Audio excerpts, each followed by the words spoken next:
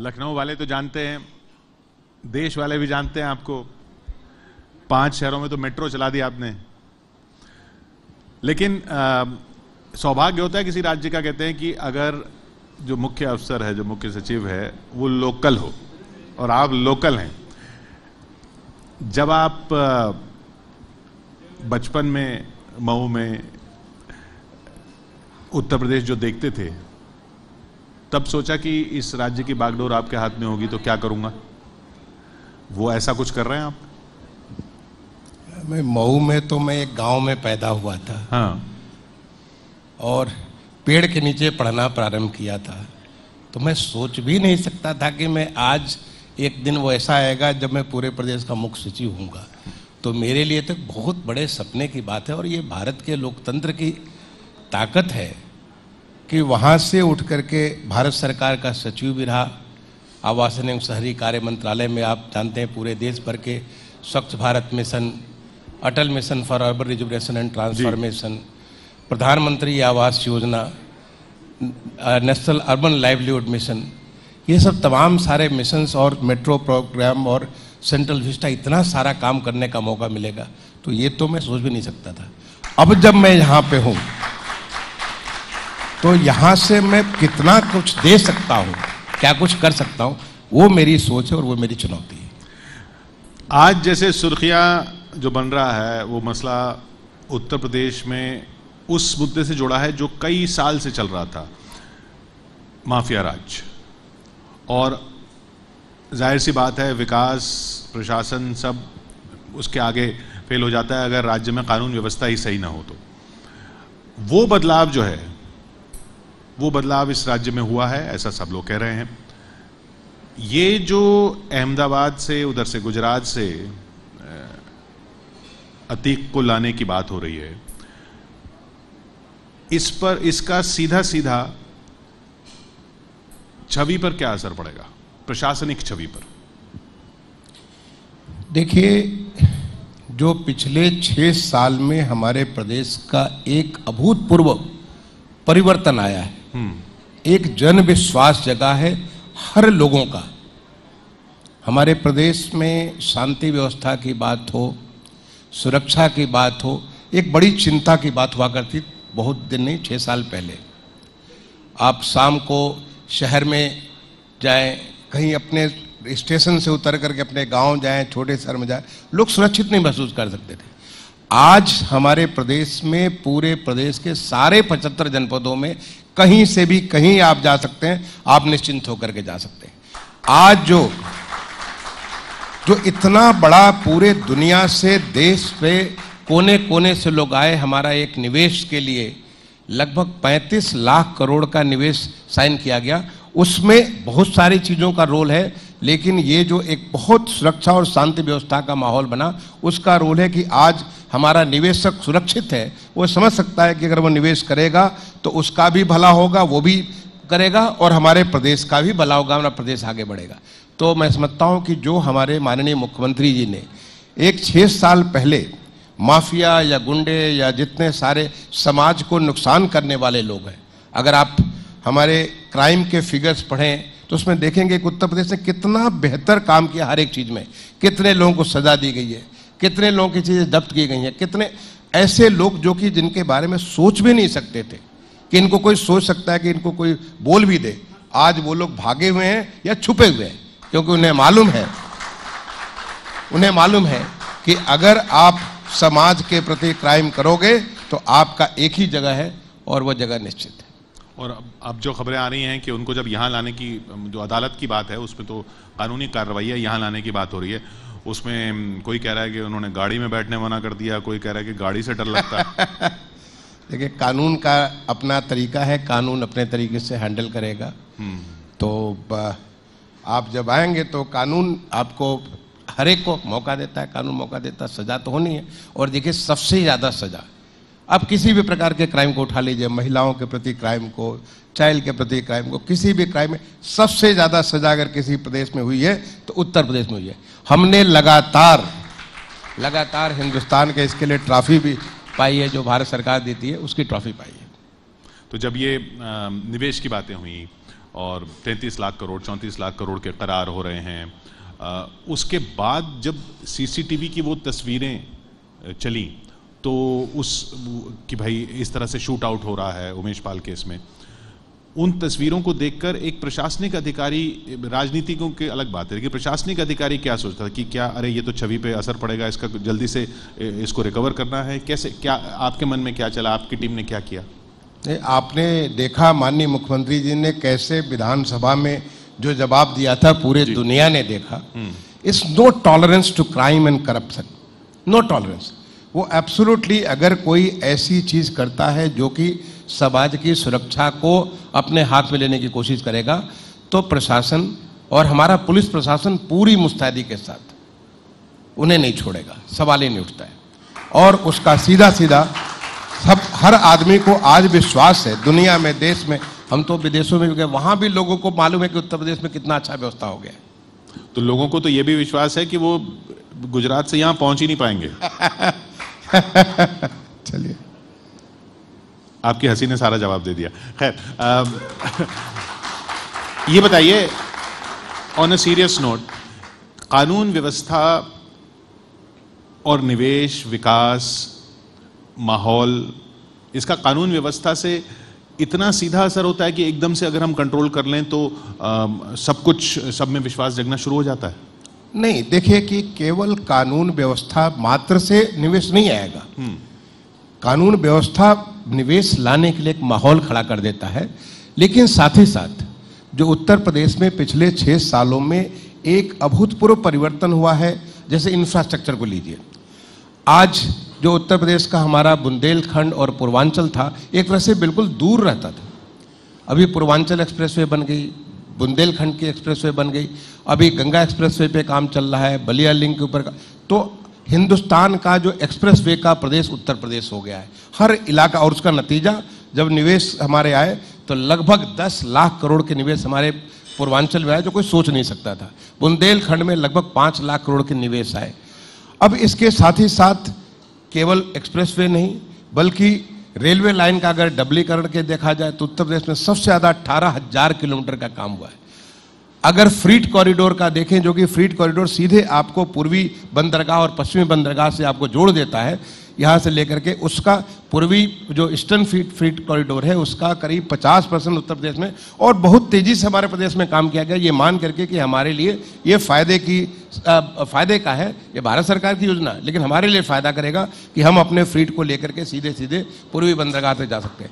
पश्चिमी बंदरगाह में भी करीब दस परसेंट हमारे उत्तर प्रदेश में, उसमें बहुत तेज़ी लाई गई आप देखिए, आपने मेट्रो की बात की, मैं तो पूरे देश में मेट्रो का, जब एज अर्बन सेक्रेटरी पूरे देश में मेट्रो का विकास करता था, उत्तर प्रदेश सबसे आगे, आज पाँच शहरों में मेट्रो हमारा चल रहा है, और पाँच और शहरों में मेट्रो का या तो काम चल रहा है या काम चलने के लिए प्लानिंग चल रही है। तो ये मेट्रो में भी इतनी तेज़ी हुई। अगर हिंदुस्तान का पहला रीजनल रैपिड ट्रांसपोर्ट पहला रीजनल रैपिड ट्रांसपोर्ट दिल्ली से लेकर मेरठ, आप मात्र पचपन मिनट में पंद्रह स्टेशनों पर रुकते हुए जा सकते हैं। ये ऐसा चीज़ हमने विदेशों में देखा था। पहले बार हिंदुस्तान में होने जा रहा। माननीय प्रधानमंत्री जी ने मार्च 2019 में उसका शिलान्यास किया था और अगले दो तीन महीने में उसका पहले 17 किलोमीटर का उद्घाटन भी कर देंगे। 2025 तक आप मेरठ तक आरआरटीएस से चलेंगे। हर एक शहर जो उसके लगे हुए ऐसे लगेगा जैसे दिल्ली का मोहल्ला बन गया। अभी दो दिन पहले माननीय प्रधानमंत्री जी ने पहला, देश का पहला ट्रांसपोर्ट रोपवे, आप में से बहुत लोग रोपवे में चढ़े होंगे, जो कि टूरिस्ट प्लेसेस के लिए, ऐसे जगहों के लिए, लेकिन पहला देश का ट्रांसपोर्ट रोपवे का शिलान्यास माननीय प्रधानमंत्री जी ने अभी बनारस में किया है और उससे एक नया रास्ता खुल जाएगा। पहला आपका जो है, जो first national waterways first national N W one जिसको कहते हैं नेशनल वाटरवेज हमारा जो है बनारस से लेके हल्दिया तक, आप सीधे सीधे यहाँ से सामान लेके फ्रीट से पहुँच सकते हैं, और वो प्रयागराज से लेके हल्दिया तक होने जा रहा। है रेल, अगर एयरपोर्ट का देखें, हमारे एयरपोर्ट का दो हज़ार छः साल पहले केवल दो एयरपोर्ट उत्तर प्रदेश में चलते थे ठीक से, बाकी दो तो चलते भी थे, नहीं भी चलते थे।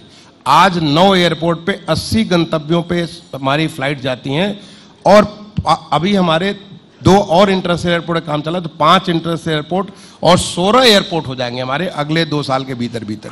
तो ये हमारा उत्तर प्रदेश में एक regional connectivity national connectivity international connectivity जिस तेज़ी से बढ़ा है तो ये सारी चीज़ें भी बड़ी माने रखती है। तो दूसरा तो इंफ्रास्ट्रक्चर हो गया। तीसरा है ease of doing business okay आपको आपने ये भी बना दिया लेकिन पता चला कि जो निवेशक हमारा है उसको तंग कर रहे हैं कि ये अप्रूवल वो अप्रूवल ये परेशानी वो परेशानी बहुत सारी दिक्कतें होती हैं। तो हमने माननीय प्रधानमंत्री जी का विजन है उनका जो एक डायरेक्शन है ईज ऑफ़ डूइंग बिज़नेस का उत्तर प्रदेश से बड़ा अच्छा काम किया।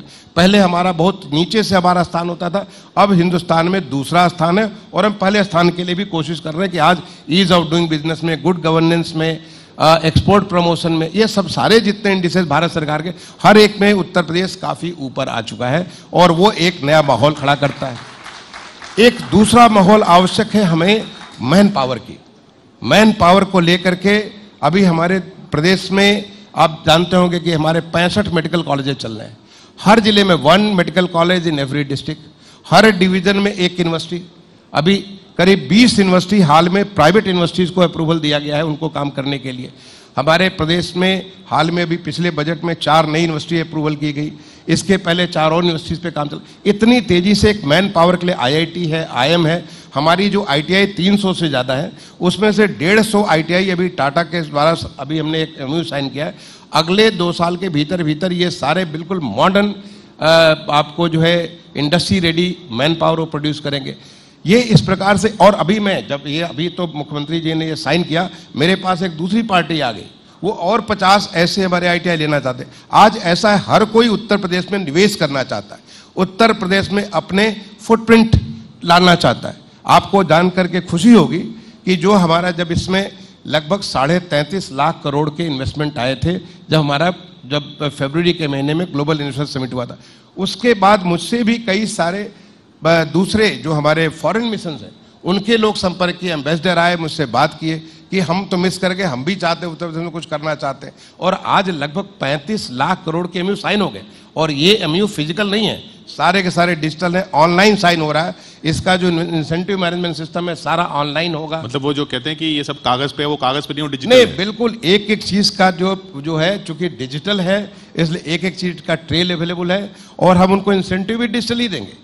तो ये सारा सारा अकाउंटेबल सिस्टम जो बन करके जो हमारे माननीय मुख्यमंत्री जी देखिए एक तो हमारे माननीय प्रधानमंत्री जी का विजन है पूरे देश को एक नए भारत का एक विकसित भारत का जो विजन है माननीय मुख्यमंत्री जी सीधे सीधे उस विजन के अनुरूप जो जो वहाँ से डायरेक्शन आते हैं जो आते हैं उसके हिसाब से सीधे उसको धरातल पर लाने का प्रयास करते हैं और हम लोग उनके सिपाही हैं। मतलब धरातल पे आएगा क्योंकि लोगों को हम उनके सिपाही लाख करोड़ रुपए करते हैं। पैंतीस लाख करोड़ रुपए सिर्फ़ डिजिटली आ जाएगा या धरातल पे भी आएगा? बिल्कुल आएगा साहब अभी आप देखिएगा हमारा जो है ग्राउंड ब्रेकिंग सेरेमनी दिवाली तक होगी। आप देखिएगा उसका पहला आगाज़ कैसा होगा। और एक आलोचना ये होती है कि बजट सात लाख करोड़ का पैंतीस लाख करोड़ का निवेश का करार तो हो गया लेकिन प्रदेश पे कर्ज भी बहुत बढ़ता जा रहा है। आप इतना कर्ज लेके इंफ्रास्ट्रक्चर बना रहे हैं कि आने वाली पीढ़ियाँ उसको चुकाएँगी। नहीं नहीं ये बिल्कुल गलत बात है। हम्म। अभी हाल के समय में हमने मैंने लोन पुराने हैं अभी हाल के समय में कोई ऐसे बहुत लोन नहीं लिए गए। जो पुराने हैं वो तो हैं हमारे पास क्योंकि हमारी जो रेवेन्यू में काफ़ी इजाफा हुआ है चाहे वो स्टेट टैक्सेस के बारे में। अब हर एक रेवेन्यू का चाहे एक्साइज का टैक्सेस के बारे में हो हर चीज़ में लगभग दूना मतलब मतलब विकास जो होगा उससे जो टैक्स आएगा वो इस, वो पूरा कर देगा ये देखिए ये इकोनॉमी का एक साइकिल होता है। हम्म। जब आप इकोनॉमी में आप ग्रोथ करते हैं तो हमारे टैक्स बढ़ते हैं। जब टैक्स बढ़ेंगे तो उससे फिर फर्दर ग्रोथ होगा। ये अपने आप में एक फुलफिलिंग और एक ऐसी स्थिति में हम आ चुके हैं ऐसी स्थिति में आ रहे हैं। क्योंकि इसके लिए जो काफ़ी सारे जो काम हुए जैसे मैंने बताया पावर सेक्टर में काम हुआ। आज हमारे गाँव में आप सब कोई जानता अट्ठारह से बीस घंटे बिजली आती है। हमारे नगरों में 20 से 22 घंटे बिजली आती है। जो डिस्ट्रिक्ट हेडक्वार्टर 24 घंटे बिजली आती अब ये जो जो चीज़ें सुनिश्चित हुई हैं, इसका सीधा सीधा लाभ होगा कि चूँकि अर्थव्यवस्था तेज़ी से काम कर रही है, हमारे टैक्स जब बढ़ेंगे, और टैक्स में जो चोरियाँ होती थी, जो उसमें कमियाँ आती थी, उन चीज़ों को टैप किया गया। ऐसा नहीं कि हंड्रेड परसेंट हो गया, अभी भी थोड़ी मोड़ी कमी होगी। लेकिन डिजिटल माध्यम से उसको ऑनलाइन अकाउंटेबल सिस्टम के माध्यम से कोशिश ये हो रहा कि हम लोग जितना हमारा पोटेंशियल है उसके मुताबिक हम टैक्स को कलेक्ट कर सकते एक कहा जाता है कि सरकारी तंत्र जो होता है उसमें कई टूल्स होते हैं। आपके प्रशासनिक तंत्र में एक टूल बहुत ज़्यादा इस्तेमाल हो रहा है और उस टूल का नाम है बुलडोजर ये तो पहचान हो गई उत्तर प्रदेश की हमारे माननीय मुख्यमंत्री जी की। बुलडोजर इस बात को रिप्रेजेंट करता है कि ऐसी चीज़ जो कि अवैध तरीके से बनाएँगे। ऐसा नहीं कि बुलडोजर नहीं यूज़ होता था पहले भी होता था। मैं वाइस चेयरमैन रहा हूँ कानपुर डेवलपमेंट अथॉरिटी का नाइन्टी एट नाइन्टी नाइन में। हम्म। अगर कानपुर वाले यहाँ होंगे तो उनको मालूम होगा मैंने भी उसमें कुछ एक बिल्डिंग गिरवाई थी। लेकिन बड़ा कम प्रयोग होता था। तब क्या होता लेकिन था? ऐसा बहुत सारी चीज़ें बातचीत हो गई मतले सल हो गए। लेकिन मतलब अभी ऐसा कभी हुआ कि आप बुलडोजर लेकर निकले और वो इस्तेमाल नहीं हो सका? ऐसा है कि अभी कम से कम लोगों को एक इंटेंशन बड़ा साफ़ साफ़ मालूम है।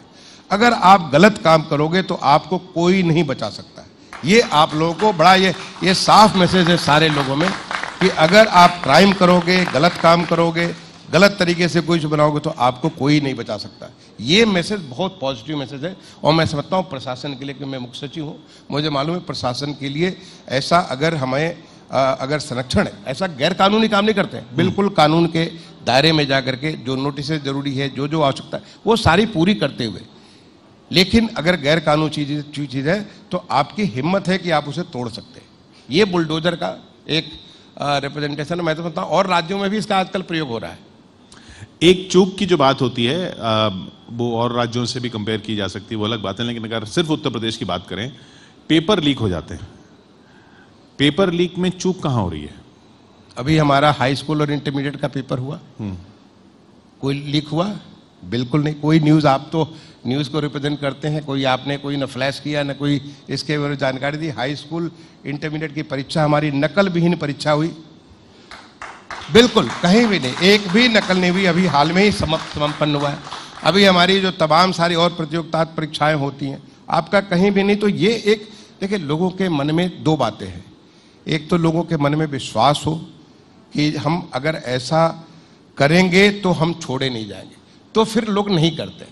जब लगता है कि चलो थोड़ी गुंजाइश है, हम बातचीत करके चीज़ों को निपटा सकते हैं तो लोग इस प्रकार के अनायास, अनधिकृत प्रयास करते हैं। तो यहाँ जब लोगों को बिल्कुल साफ़ है, अगर कहीं कोई घटना होती है तो उसको तुरंत उसके ऊपर एक्शन लिया जाता है, उसको छोड़ा नहीं जाता तो इसकी वजह से मैं समझता हूँ कि ऐसे लोग जो अनधिकृत प्रयास करते थे उन लोगों को अभी हिम्मत नहीं है काम करने के लिए। और बाकी अगर कहीं कुछ होगा तो we will not spare anybody इसमें कोई डाउट नहीं है। एक कई विश्लेषक कहते हैं कि असीम संभावनाएँ उत्तर प्रदेश में जो हैं एक एक क्षेत्र ऐसा है जिसको शायद उतना टैप नहीं किया गया जितना किया जा सकता था। वो है पर्यटन का क्षेत्र। बिल्कुल आपने बहुत अच्छी बात कही। पर्यटन के बारे में नहीं, बल्कि उत्तर प्रदेश में हर चीज़ की असीम संभावना है। पर्यटन भी उसमें एक है। अब जैसे बुंदेलखंड आप लीजिए। बुंदेलखंड में इतने सारे किले हैं, इतने सारे पुराने बने हुए महल हैं, इतने सारे जो वाटर बॉडीज़ हैं, इतना सारा जंगल, पहाड़ वगैरह है, लेकिन उसका उसका एक्सप्लॉटेशन नहीं हुआ। कारण क्या था? कारण ये था कि बुंदेलखंड एक प्रकार से हमसे दूर था। अभी जब बुंदेलखंड एक्सप्रेसवे बन गया, आपने सुना होगा जब माननीय प्रधानमंत्री जी ने उद्घाटन किया था, उन्होंने अपने उद्घाटन में कहा था कि यहाँ के पर्यटन की संभावनाओं को हमें तलाश करके इसके एक नया विकास का रास्ता देना और हम लोग उस पर ऑलरेडी काम करना चालू कर दिया बहुत सारी अब आप देखेंगे आने वाले समय में, हमारे जो जो इधर जो मैंने बताया, लगभग पाँच लाख करोड़ के निवेश जो साइन किए गए ग्लोबल इन्वेस्टर समिट में, उसमें काफ़ी कुछ पर्यटन से रिलेटेड है। इसी प्रकार से अन्य क्षेत्रों में भी, जो हमारी, जो वाटर बॉडी जो बाकी जगह तो पानी की बड़ी समस्या होती है। हमारे यहाँ पानी की बहुत अधिकता है। आप जाके पूरब में इतने बड़े बड़े तालाब है। अब उसको लेकर के कैसे हम लोग आर्थिक गतिविधियों का क्षेत्र बना सकते हैं, इसके बारे में काम हो रहा है। तो आज उत्तर प्रदेश एक नए रास्ते तलाश रहा है। आपको मालूम होगा कि जैसे माननीय प्रधानमंत्री जी ने फाइव ट्रिलियन डॉलर इकोनॉमी का एक विजन दिया पूरे देश को, उसके तहत माननीय मुख्यमंत्री जी ने वन ट्रिलियन डॉलर इकोनॉमी का एक लक्ष्य दिया। और उस लक्ष्य के ऊपर हम लोग काम कर रहे हैं। और उस लक्ष्य को हम तब पूरा कर पाएँगे जब हमारे प्रदेश का एक भी क्षेत्र अछूता न हो विकास के गतिविधियों से। हमारे देश, हमारे प्रदेश का एक भी वर्ग, हर वर्ग, आप देखेंगे कि शिक्षा के बारे में इतना मूल चूल परिवर्तन हो रहा है। जो प्राइमरी स्कूल में बताया कि गाँव में मैं पेड़ के नीचे पढ़ता था, बाद में वहाँ स्कूल के बिल्डिंग तो बनी बट बिल्डिंग बिल्कुल बेकार हालत में हो गई थी। आज हमारे प्राइमरी स्कूलों को जाकर के देखिए उत्तर प्रदेश में, सबका कायाकल्प हो गया है, कितना बढ़िया माहौल है कि आज जो लोग छोड़ के प्राइमरी स्कूल बाहर जाते थे, वो वापस फिर से प्राइमरी स्कूल आने लगे हैं। इंटरमीडिएट कॉलेजेस की इतनी अच्छी सुधार हो गया। तो ये एक पूरा का पूरा एक परिवर्तन की लहर प्रदेश में है और वो प्रदेश जो वन ट्रिलियन डॉलर इकोनॉमी से लेकर के जो माननीय प्रधानमंत्री जी का विजन है डेवलप कंट्री का, उस डेवलप कंट्री में एक डेवलप उत्तर प्रदेश बन करके आगे बढ़ने वाला है। प्रशासनिक स्तर पर एक राजनीतिक स्तर पर आरोप लगते हैं कि एक वर्ग को अल्पसंख्यक वर्ग को सरकार ध्यान नहीं देती है। प्रशासनिक स्तर पर क्या ये बदलाव देखते हैं आप कि कुछ कुछ फैसले जब लिए जाते हैं तो किसी वर्ग से कुछ आवाज़ आए? ये बिल्कुल गलत बात है। इनफैक्ट हम्म। जब मैं सुनता हूँ तो मुझे बड़ा आश्चर्य होता है। मैं भारत सरकार में साढ़े सात साल तीन साल एडिशनल सेक्रेटरी रहा डेवलपमेंट मिनिस्ट्री में। चार साल, सात महीने में सेक्रेटरी रहा हाउसिंग एंड अर्बन अफेयर्स में। इतने सारे मैंने कहा छः मिशन में चलाता था। किसी भी मिशन में किसी प्रकार का कोई भेदभाव नहीं था। मैं पूरे, मैंने विश्वास के साथ गारंटी करके मैं उस स्कीम को रन करता था। लॉन्च पूरे पूरे पूरे देश भर में चलाता था। आज उत्तर प्रदेश में मुख्य सचिव के रूप में कहीं भी किसी प्रकार का किसी के साथ भेदभाव नहीं होता है। इनफैक्ट जो योजनाएँ होती हैं, चाहे आपने कहा कि माइनॉरिटीज के बारे में या किसी भी वर्ग के बारे में उन योजनाओं का जितना लाभ आज मिल रहा है। क्योंकि तो मैं उत्तर प्रदेश में बहुत लंबा अलग अलग मैं सचिव भी रहा हूँ, प्रमुख सचिव भी रहा हूँ अलग अलग उसमें जिलाधिकारी हर लेवल पे मैंने काम किया। आज जिस प्रकार से जो लाभ मिल रहा है, इतना लाभ उनको पहले मिलता भी नहीं था। आप किसी भी माइनॉरिटीज़ का स्कीम को देख लीजिए, कि उसमें जितना लाभ आज मिले पिछले मैंने देश में या प्रदेश में मिल रहा इतना लाभ उनको पहले नहीं मिलता था। और हर आदमी उसको, आपको तस्दीक करेगा कि हमको एक तो कोई किसी प्रकार का जो डिस्क्रिमिनेशन नहीं है और टू हमको जितना लाभ मिला पहले इतना लाभ नहीं मिलता था। और ये जो आलोचना होती है कि प्रशासन जो है अब मंदिर बनवा रहे हैं। नहीं ऐसा कुछ नहीं प्रशासन मंदिर बना रहे। मंदिर तो मंदिर का ट्रस्ट बना रहा है प्रशासन तो नहीं बना रहा। प्रशासन ये देखता है कि वहाँ पे शांति व्यवस्था ठीक से रहे वहाँ पे लोग जा रहे हैं आने जाने जो मंदिर जाते हैं उनको कोई तकलीफ़ ना होने पाए क्योंकि ये हमारा काम है प्रशासन का काम है। अगर आप मंदिर में आपके जैसे कि जो भी किसी भी कहीं तरीके से जाते हैं आपकी सुरक्षा व्यवस्था करना आपका ध्यान रखना ये हमारा काम है। बाकी ट्रस्ट मंदिर बना रहा है प्रशासन नहीं बना रहा है। एक इंतज़ार हो रहा है उधर नोएडा इंटरनेशनल एयरपोर्ट का। वो प्रशासनिक तौर पर आप उस उसको कैसे देखते हैं उसके आगे फिर विजन कैसे बढ़ेगा? देखिए ये मैं समझता हूँ कि हमारे देश का ही नहीं बल्कि पूरे एशिया का सबसे बड़ा इंटरनेशनल एयरपोर्ट बनने जा रहा हमारा जेवर पे हम्म। जो नोएडा ग्रेटर ग्रेटर नोएडा के आगे जेवर एयरपोर्ट है हम्म। और ये उस आर्थिक विकास का एक बहुत बड़ा दूरी बनेगा क्योंकि उस एयरपोर्ट के माध्यम से जो पूरा इलाका जितना सारा वहाँ के पहले तो कार्गो एक नया जो है, जो इकोनॉमिक डेवलपमेंट के तौर पे आप जानते हैं, उधर आगरा भी है, अलीगढ़ भी है, बुलंदशहर है, वो सब पूरा का पूरा इलाका राजस्थान का इलाका है, उस पूरे इलाके की जो आर्थिक गतिविधियों के लिए वो आगे बढ़ेगा। साथ ही साथ जेवर एयरपोर्ट के पास हमारा Jamuna industrial economic development authority बना हुआ है। उस अथॉरिटी के माध्यम से तमाम सारे बड़े बड़े जैसे कि हज़ार एकड़ में हम वहाँ पे एक फ़िल्म इंडस्ट्री का फ़िल्म सिटी बनाने जा रहे हैं। हज़ार एकड़ का हमारा वहाँ पे एक इलेक्ट्रॉनिक सी सिटी बनने जा रही है कि फैब इंडस्ट्री जो कब हमारे जो इलेक्ट्रॉनिक जो चिप्स होते हैं, उसका मैन्युफैक्चर भी होगा इलेक्ट्रॉनिक गुड्स का प्रोडक्शन भी होगा।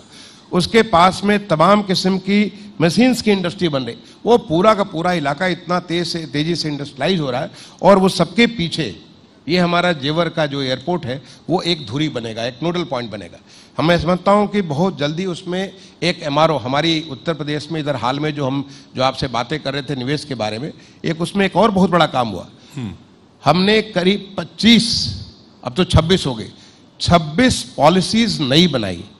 और ये पॉलिसीज़ हमारे देश में जो पॉलिसीज़ थी उन सारी पॉलिसीज़ को पढ़ाई की देखा कि उसमें क्या क्या बढ़िया चीज़ें हैं क्या चीज़ें हमारे प्रदेश के लिए अच्छी हो सकती हैं। आज देश की सबसे ज़्यादा निवेशोन्मुखी जो निवेश को आकर्षित कर सकती है, ऐसी पॉलिसीज़ बनी है अब उस पॉलिसी में एमआरओ पॉलिसी भी है। मैं समझता हूँ कि यहाँ लोग आएँगे और आगे इन्वेस्टमेंट करेंगे कि सारी की सारी हवाई जहाज़ों का जो मरम्मत वगैरह होता है वो सारा वहाँ पे हो सकता है। तो आज प्रदेश में ये हमारा जो पश्चिमी इलाका है, उसको विकसित करने में एक तो ये और दूसरा आरआरटीएस दोनों का बहुत बड़ा योगदान होगा। चलिए, आखिरी सवाल वही जो सुबह से सुर्खियाँ बना हुआ है, मैं फिर से आपसे पूछ लेता हूँ, क्योंकि हमने डीजीपी साहब से भी पूछा, उन्होंने बोला यहाँ पर इस प्रदेश में पुलिस की गाड़ी मज़बूत है, वो पलटती नहीं, अपराधी पलटता है।